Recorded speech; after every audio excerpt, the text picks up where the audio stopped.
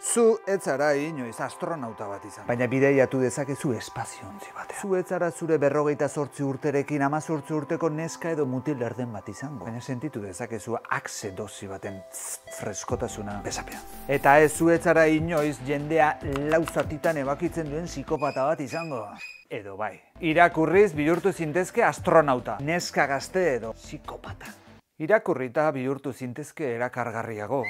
Irakurriz bihurtu zintezke poesia sortziko txiki ala antzerki obra bateko hirugarren agerraldi. Euskaraz ugari dira literaturtxokoak. Eta ez daukagu liburutegira joan beharrik. Klik batera dauzkagu guztiak. Azteko literaturari buruzko atari osatuena. armiarma.eus. Zer dagoen hor galdetuko duzu?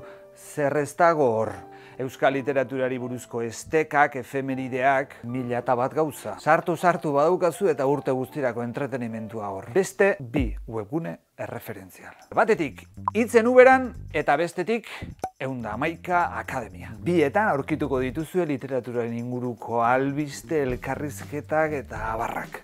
Literatura irakurria ez ezik, entzuna ere izan daiteke. Testuak ahotsez grabatu eta audio formatuan gordetzen dituzte, etxeegiroan puntu eus webunean. Eta euskal idazleen pasarteak ahotsean gordeta ditu, aitxu.eus webguneak. Eta noski hori eta gehiago egiten dute Xerezaderen artxiboko literatur podcastetan. Literaturari buruzko telebista saioak nahi dituzuela? Hortxe duzue artefaktua ETV batean. Eta bestela, nahi eran atarian sartuz gero, sautrelaren kapitulo zarrak ikusi ditzakezue. Eta ipupo mamua bestela, aurre eta gazte literaturako saioa.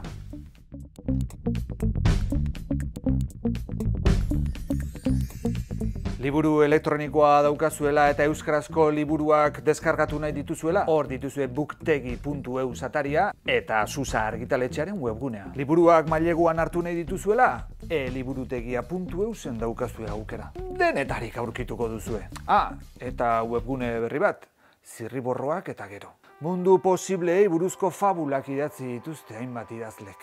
Bertati deskargatu daitezke PDF formatuan. Ah, iaztu zait. Neronek ere badaukat euskal literatura klasikoko testuak hartu eta kantu bihurtutako webgune bat ere etxe bare, rap.eus. Home, ez da ondo esatea nik, baina flow pixka daukate. Eskoletan badira literatura sustatzeko programak ere. Idazleak ikastetxetan programerekin, aukera daukazue idazleak ikastetxetara ekartzeko. Eta haien liburu bat zuzenean lantzeko ikasleekin. Galtzagorri elkarteak ere baditu ikastetxetan literatura sustatzeko ekimenak. Booktuber lehiaketa, booktrailer lehiaketa.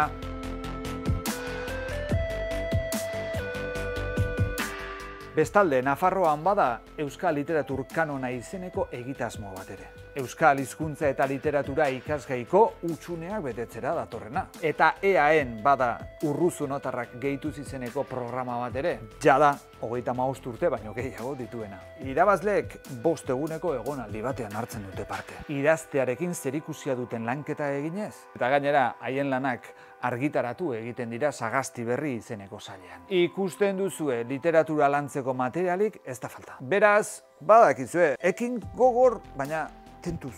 Literaturan benetan murgiltzen dena, ez da errez ateratzen eta.